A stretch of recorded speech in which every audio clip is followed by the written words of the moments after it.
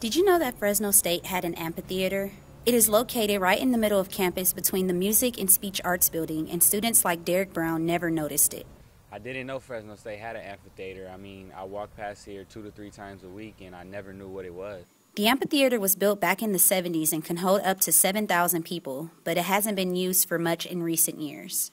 Um, for a while, it was condemned, which meant it was unstable or something like that. And um, then, just like this past year, they made an announcement saying it wasn't condemned and it was available to use. Um, but I just think it had been so long since uh, people had used it that they didn't really realize that it was here. The amphitheater hasn't gone completely unnoticed. Music students still use the space to their advantage. I know that the marching band uses it for uh, warm ups before games, they used it for their orientation, and the Bulldog Beat used it for playing a concert.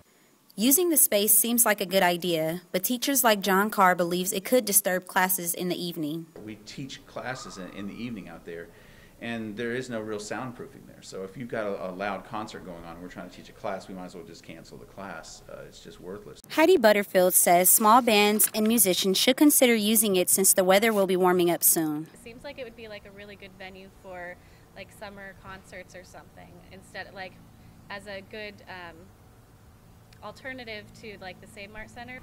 Hopefully we get to see the amphitheater being used in the near future. Levon Marshall, Fresno State Focus.